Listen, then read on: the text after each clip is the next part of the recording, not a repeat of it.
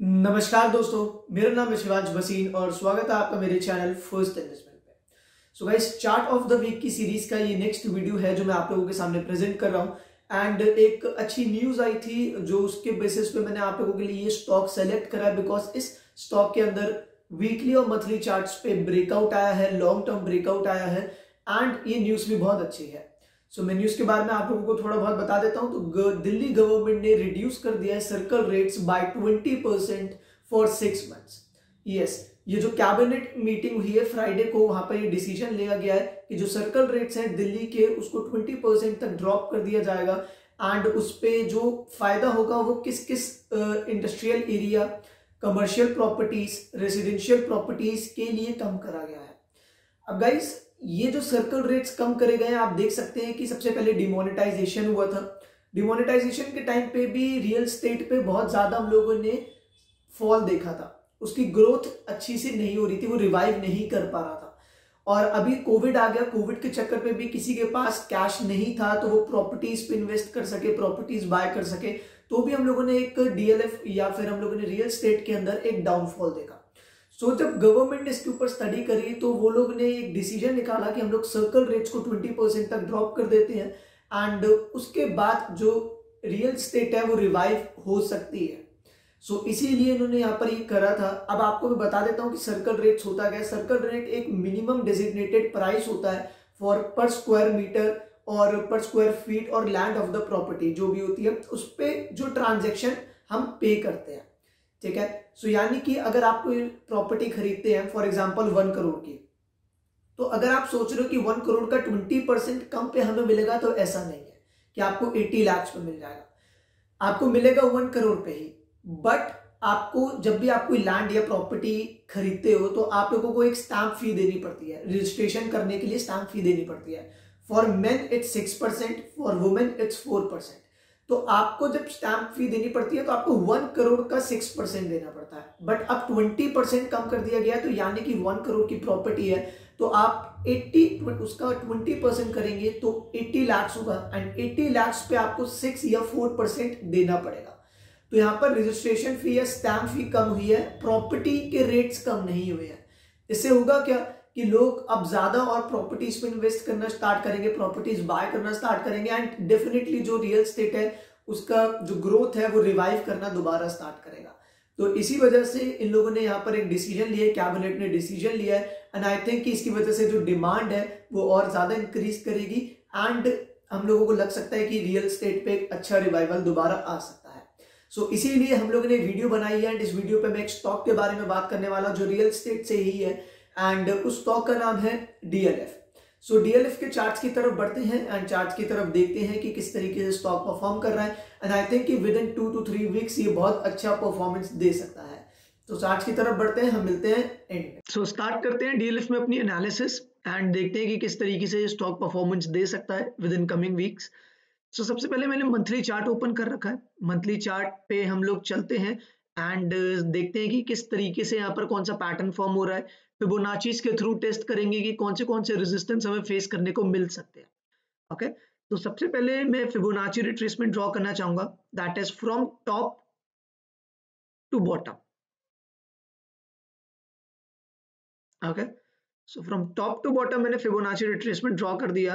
And जो higher side में हमें एक रेजिस्टेंस देखने को मिल रहा है दैट इज़ 236.23.6 परसेंट का Fibonacci retracement level but I think ये ज़्यादा इंपॉर्टेंट नहीं होता। जो ज़्यादा इंपॉर्टेंट लेवल्स होते हैं that is three thirty eight point two fifty and sixty one point eight percent Fibonacci retracement level तो आई थिंक ये इसको भी क्रॉस कर जाएगा। बट अगर हम लोग बाय अभी भी करते हैं that is the price is three zero five rupees और जो ऊपर रेजिस्टेंस है that is three forty eight rupees so almost हम लोगों को फोर्टी पॉइंट्स तक की एक अपमूव मिल जाएगी और वो भी आराम से बारह परसेंट से ऊपर ही है।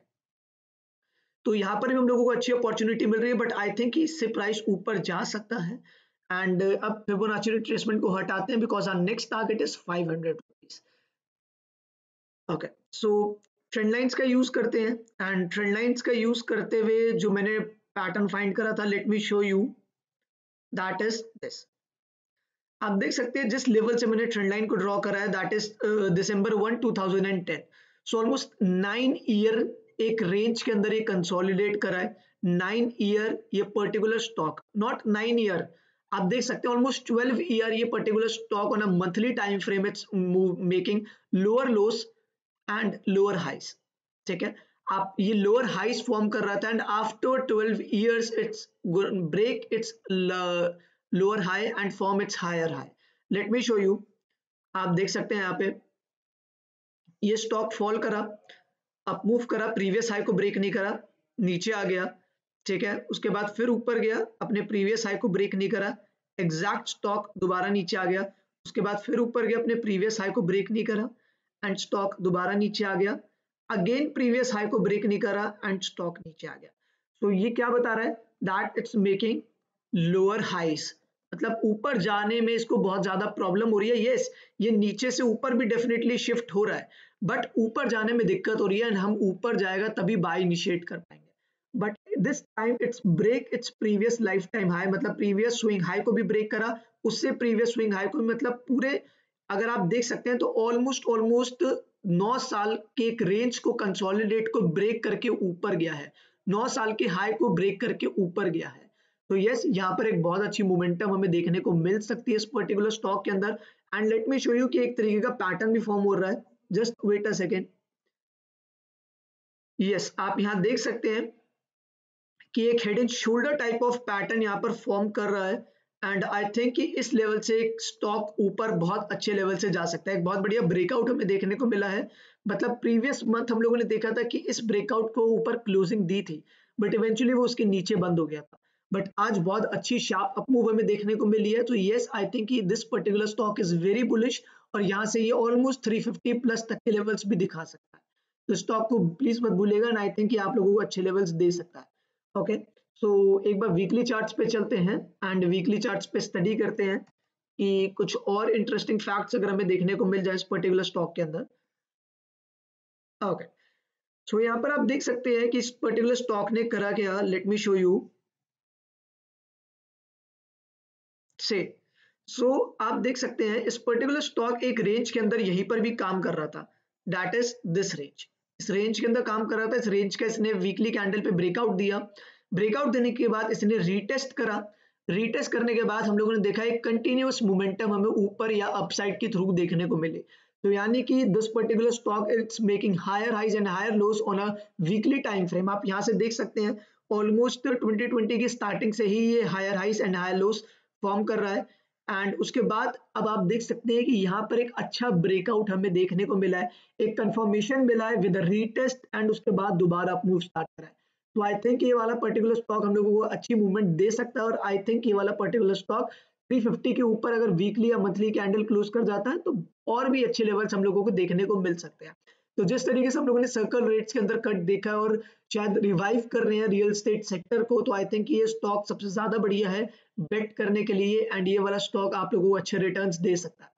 सो आई होप अगर आप लोगों को स्टॉक अच्छे रेट्स में मिलता है तो आप लोग इस पर स्टार्ट करें अपनी स्विंग ट्रेडिंग एंड मैं डेफिनेटली बाय करने के बारे में सोचूँगा मंडे को अगर मुझे अच्छे लेवल्स पर मिलता है। सो so, हम लोग मिलते हैं वीडियो के आखिरी में। Bye bye so I hope आप लोगों को हमारी एनालिसिस पसंद आई होगी जो न्यूज़ के बेसिस पे हम लोगों ने आप लोगों को chart of the week present करा है। सो so, आप देख सकते थे कि ऑलमोस्ट नाइन ईयर्स के बाद हम लोगों ने एक चैनल का ब्रेकआउट देखने को मिला था डीएलएफ के अंदर। सो आई होप कि अगर यहाँ से बढ़ना स्टार्ट करता है तो ऑलमोस्ट टेन टू फिफ्टीन से ट्वेंटी परसेंट तक की movement within one to two weeks दे सकता है। एंड टू वीक्स के अंदर twenty percent is not so bad so I think आप लोग इस पर इन्वेस्ट करें अपनी थोड़ी बहुत एनालिसिस खुद भी करें थोड़ी बहुत प्रैक्टिस करें तभी आप लोग सीख पाएँगे। अगर आप लोग हमारे एनालिसिस के थ्रू ट्रेड कर रहे हैं तो मैं आपको सजेस्ट करूँगा कि आप थोड़ी क्वांटिटीज पे ही काम करिएगा। ओके सो मैं मिलता हूँ आप लोगों से अगली वीडियो पे। मैं शिवांश वसीम साइनिंग ऑफ़